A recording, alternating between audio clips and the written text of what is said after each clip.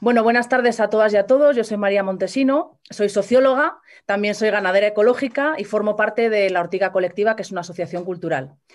Eh, mm, os voy a explicar qué es Rural Experimenta. Eh, rural Experimenta es un laboratorio rural de innovación social ciudadana que está promovido por Cultura y Ciudadanía del Ministerio de Cultura y Medialab Prado. Es un taller rural que está diseñado para que personas con experiencias y conocimientos muy diversos se junten durante cinco días a prototipar, a crear, a reflexionar, a diseñar proyectos en común, específicamente relacionados con temas que afecten al medio rural. La primera edición se celebró en Villanueva de Santo Adriano, en Asturias, bajo la coordinación del Aponte Museo y esta segunda edición se ha, llevado a cabo en Cantabria y online en el Valle de Campo y la hemos coordinado la Ortiga Colectiva y ha contado también con la colaboración del Gobierno de Cantabria. Este año hemos vivido un rural experimenta experimental, como solemos decir, ¿no? porque ha, sufrido algunos procesos, cambios de formato va a ser presencial en un principio y finalmente se tuvo que adaptar pues, a la situación sanitaria que todos conocemos. ¿no? Eh, sí que mantuvimos un campamento base en el pueblo de Requejo, en el Valle de Campo. ¿Cómo se pudo realizar el taller en formato online?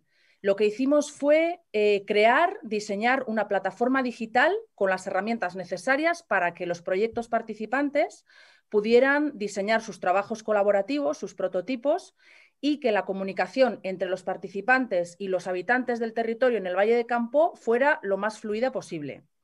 Contamos con un equipo formado por dos mentores, Eva Martínez, que fue la coordinadora de la primera edición en Asturias, y el filósofo Ramón del Castillo también con un equipo de mediadores, dos artistas, Nacho Zubelzu y Seila Fernández Arconada, y un campamento base, un equipo de coordinación en el territorio formado por mí misma y por compañeros y compañeras de la Ortiga Colectiva, que además también contamos con un equipo de grabación que estuvo durante los cinco días generando mucho material audiovisual para mantener ese, ese tacto con el, con el contexto, con el territorio. ¿no?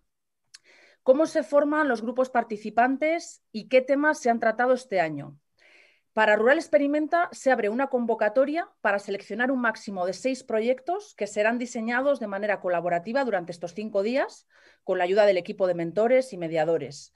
Se abre también una segunda convocatoria a colaboradores, de manera que finalmente cada proyecto cuenta con un promotor o promotora y siete colaboradores. La convocatoria está abierta a proyectos nuevos, gente que tenga ideas nuevas o proyectos que ya estén funcionando en otras partes del territorio y se quieran replicar, quieran generar red a nivel, a nivel estatal. Eh, está dividida, está orientada, perdón, y creo que esto es muy importante, a mm, formatos y a gente con conocimientos muy diversos. No hace falta tener ningún tipo de experiencia previa ni un determinado grado de especialización con lo cual contamos con perfiles muy diferentes que se juntan en estos equipos para pensar sobre un tema común. El programa en esta segunda edición ha sido estructurado en torno a cuatro temas, cultura y ciencia rural frente a la crisis climática, patrimonio inmaterial, bienes y archivos del común, educación y aprendizaje intergeneracional y Camino de Santiago Sacobeo 2021. Los proyectos seleccionados han sido seis, os les paso a nombrar. Comunidad energética, mapeo de recursos para un modelo rural, Rural Model Canvas, el mapa de mi cuerpo, un kilómetro de arte, Rural Lab y Pitanzas con Pintaza.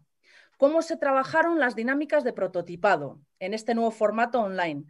El objetivo, como os comentaba antes, siempre ha sido facilitar los procesos de reflexión colectiva y de creación colectiva eh, a través de la plataforma digital y sobre todo con dinámicas de hazlo tú mismo junto a los otros donde todos los tipos de conocimiento y todos los tipos de experiencia aportan.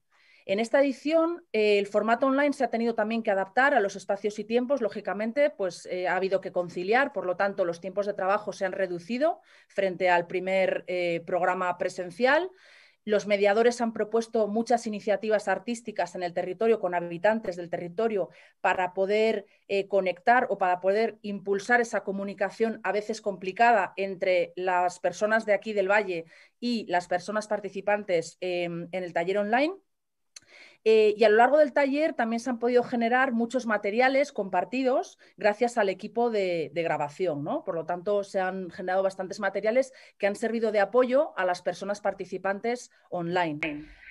Para finalizar, después de cinco días intensos de trabajo, se presentaron los prototipos de forma virtual en streaming eh, se contó con 10 minutos para poder hacer las presentaciones y los grupos podían decidir eh, quién hacía esas presentaciones, si una persona o varias.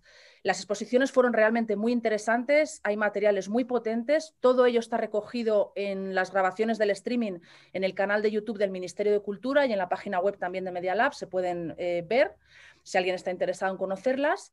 Mm, al final, después del taller, también hicimos un formulario para conocer el feedback un feedback totalmente anónimo, lógicamente. En general el resultado ha sido muy bueno, pero sí que es verdad, y lo tenemos que decir, que ha habido mucha nostalgia del cuerpo, de estar juntos y juntas, de poder participar en el territorio, contextualizando los proyectos, en fin, eh, pues lo que todos echamos un poco de menos, ¿no? Ese tacto, eh, que no todo sea una pantalla, aunque a su vez la conexión es lo que nos permite haber podido realizar el taller y estar ahora con vosotros, ¿no? Eh, sin el tiempo y la dedicación de, los participantes y las participantes en el taller hubiera sido imposible. Muchísimas gracias a todos ellos por participar. Muchísimas gracias a los mentores y a los mediadores. Muchísimas gracias a las dos instituciones promotoras, Cultura y Ciudadanía del Ministerio de Cultura y Medialab Prado. Por supuesto, a mis compañeras y compañeros de la Ortiga Colectiva. Enhorabuena Medialab por este año en un día y por muchos años más compartiendo proyectos y vida juntos. Muchísimas gracias.